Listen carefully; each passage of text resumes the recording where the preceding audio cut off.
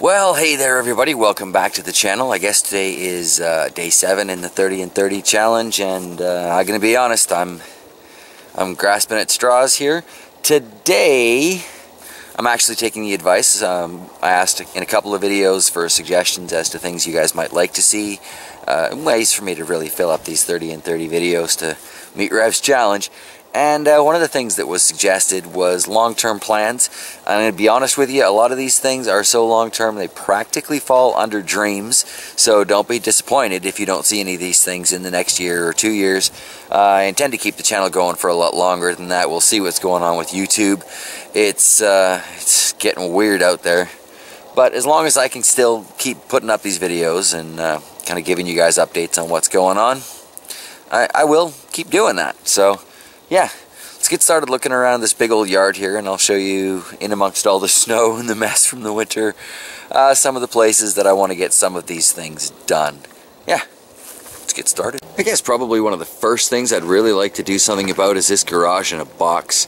Um, I like our Jeep more than um, this really shows. and I'd really, really like to build a solid wooden frame, some plywood, you know, doors, maybe even some windows in there. We've got power running to it through an extension cord. You can sort of see it there because I got to plug in the block heater for most winter nights. There's another power connection there, but I have other plans for that in the long run. But one of the things that I'd really like to do is I'd like to build this and make it a solid structure. We've replaced that tarp. I think this is the third one we've put on in the couple of years we've been here. This time we got a, a really seriously heavy duty tarp for it though. So it should last a little bit longer. This is pretty serious tarp material. I'm hoping we get at least a couple years out of this. It's very similar to the one that was on here when we bought the place, but uh, obviously this one is in better shape. So yes, so one of the things I'd like to get around to. And off the front of the house here, you may recognize this from summertime videos. We've got uh, this kind of garden patch comes up to this other electrical box. And ultimately, I would like to put a sunroom on the front here. This is the kitchen, so if we had a nice big, you know, kind of a garden area or even just a basic sunroom area, we'd, uh, I think, get some decent solar gain as far as heat coming in through those windows in the winter time. That one on the left there does open, so, you know, that would be good. We also lose an awful lot of heat throughout the winter along the base of our very, very old foundation. This place is not really properly insulated. So I think if nothing else, putting a sunroom up here would, uh, well, slow down the heat loss a little bit. And, you know, I think it would look a lot better than just this random bluey gray siding. A lot of weeds and stuff that have got to come out of here. Obviously that's a, you know, long-term project. But that's kind of what this video is about, is those long-term projects. So yeah, I'd like to get a sunroom on the front of the house here. It doesn't have to be anything fabulous or expensive, but if it could delay the heat loss and maybe get some passive solar gain, that would be great. Moving around, this is something I hope to get to this year. Um, these Tarragana, Caragana bushes, whatever they are, these things are really annoying, really invasive, and have gotten kind of tall. I was doing a little Google Earth stalking of our house, and uh, these show up in, in pictures from 2009 and 2014. And in about 2009, they were hereish, from what I can tell, looking at other things around the property. I think that's a good level. I'm going to try and cut them down to about there in the spring. I might do it in the winter if I get bored enough, but I'd rather do it in the spring.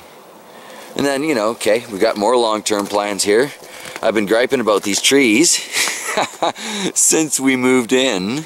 And the main reason that I, I kind of complain about these things, well, there are two main reasons. One is it kind of looks like this is the edge of our property, and it's not. Over there behind the potato box is actually the edge of the property, not, not the fence that you see there, but like a few feet in front of it. It's kind of screwy, kind of strange. And the second reason being, these ones here block an awful lot of spring and fall light that would otherwise be landing in my garden area where I want to build a proper greenhouse. So these got to come down first. So I certainly don't want to be crashing them through glass or plastic or whatever I do eventually end up using to build that. So as you can see, I mean, there's that one's down and there's a few others that we have gotten down along the way. And that's going to leave us with these stumps all over the place. But I was kind of thinking I might actually leave the stumps a little bit higher than that one is there and get some uh, mushroom kits. So you can get those spore plugs, you basically drill a hole into your stump or whatever and for the next few years it'll produce those whatever type of mushrooms for you. We don't get a whole lot of northern light. In the summertime the sun does set back there but for most of the year this is kind of lit but mostly shady so I'm kind of thinking it'll be a good environment to grow mushrooms in. And it should help break down the stumps a little bit for when we do finally grind them out. So, in the meantime, I've still got to cut these down, which may be one of the videos in this 30 and 30. I really still haven't decided. The weather has been so weird. It's actually only minus two right now, which is suspiciously warm for Manitoba in January. Rained yesterday. I was talking to a gentleman, he can't even recall the last time it rained in January here. But that's, that's where we're at, global weirdness. Anyway, so panning back over here, you can see my ground cover over my garden. But in front of these spruce trees, those shorter ones there, I'm thinking about maybe digging out and putting behind the fence back there because all of these trees, they're, well, get out from underneath the spruce or pine or whatever this is. All of these trees here in the backyard, while they do block a certain amount of wind and snow, I'm, I'm actually quite worried about them falling on the house. They blow something fierce. They're not very sturdy. If you really look closely, there's an awful lot of dead branches and just dead trees in there. So that's another job for the chainsaw. We were kind of hoping for larger snow drifts this year. Last year, by this time, we had drifts up over the side of the long shed, like literally Fuzzy was walking at about this height on the snow. And uh, I think the winter before that, he'd been tobogganing the ice fishing sled from a height of about that tree there. It might have been this one. Um, maybe it's grown a foot or two since then, but not much. It was it was an incredibly high snow pile that he was playing on. So I was kind of counting on that to be able to walk on it and uh, cut down some of these tops and work it from there in the spring, but that just, not how it worked out. Anywho, once those are gone, so, like I say, these are long-term plans. I'd really like to put in a nice big greenhouse here, and I I would like to build it to proper house standards. talking insulation, vapor barrier, the whole nine yards, because we have a lot more cold season than warm season. Any heat I generate in there, I want to keep, and those of you who have been around for a while know, well, I want to grow my kale and stuff all year round. So, yeah, that is going to be an expensive, definitely long-term project. Let's see, panning over here, my little fire pit and silly little bench. Back here, we have this pile of brush. Uh, the birds, snakes, mice, squirrels, all seem to love it the way it is right now, and as cool as that is, and as much fun as it is to watch them playing in it, the ultimate goal here, still at this uh, age dry up a little bit. Then I'm going to kind of sink a hole behind it. I want to break all this down. I got that chipper. I'm going to have to fix it up, sharpen the blade. We may make a video about that. And uh, like I said, like to chip it all down, pack it down, make it the base of kind of a curved hugel mound. Because as everything melts, it all kind of flows towards this spot in the yard. So I think if I could get that kind of absorption going on at the base of a nice curved bed, I should get really nice long-term results out of this without having to water very often, and that would be great. Here in front of the long shed, more plans. Aside from all the obvious cleanup I need to do, we were digging out poles and such from the back junk pile that's in the corner of the yard, trying to see if we could figure something out for a chin-up bar, but unfortunately, none of these things are in any kind of shape to do that. But what I'd like to do here in front of the long shed is at least put on a lean-to style greenhouse. So I've got somewhere I can put my starts a little bit sooner. They'll be protected from the wind. somewhat protected from uh, the harshness of the sun rays and uh, hopefully adjust and get into the yard just that little bit sooner because I do have very limited opportunity to get um, well fruit from my peppers and tomatoes so the sooner I can start on it the better been kind of thinking it's about 16 feet from the edge here to just in front of the Saskatoon bush there you can sort of see it sticking out from the snow so if I made it like 16 feet wide 8 feet forward that's already basically twice the size of the greenhouse I used to have so that would be good. It would be it would be helpful. Definitely one of my long-term plans. Since we're down here behind the long shed though, I mean I got the shooting shed over there. You can see the remains of the vigilante testing. Looking up, I mean here's one. This tree is basically dead. For some reason there's like a clothesline tied from it to the one beside it. I don't understand why. I've never understood why. But they all need to come down. The problem with bringing these guys down without a lot of snowpack is that they're all pretty much set up to fall on the long shed.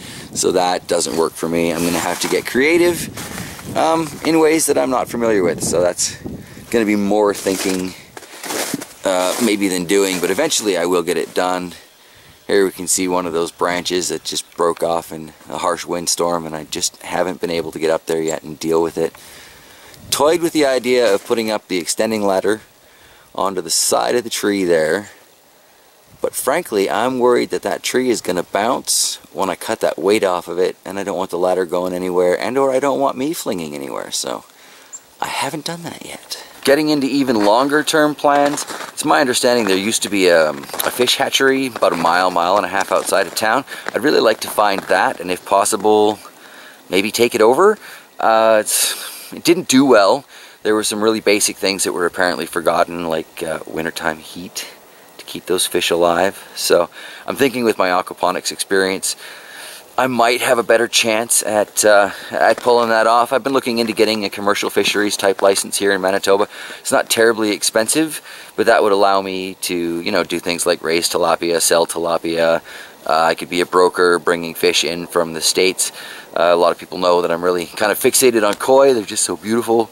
Uh, so if I was able to do that with the commercial fisheries license, then I don't even know if I'm saying that right. But anyway, if I get that license, then I should be able to be a broker and get the koi that I want, raise the koi up, maybe even someday start breeding them because I have yet to find an active, fully functioning koi farm in Canada.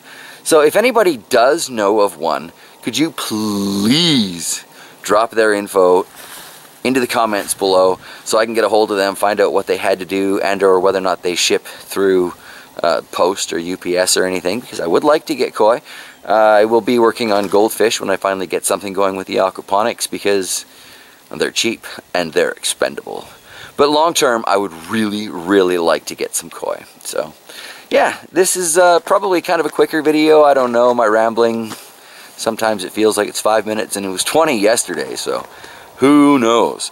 But anyway, yeah, this is just kind of a quick look around the yard at some of my dreams and long-term plans. Uh, it's about all there is.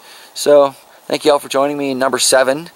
And I have no idea what number 8's going to be, but it will probably be here on the JT Bear channel because of stupid YouTube changes they're making. So, maybe I'll make a rant video. It's a possibility. Alright, I will see you guys in the next video. Have yourselves a wonderful day.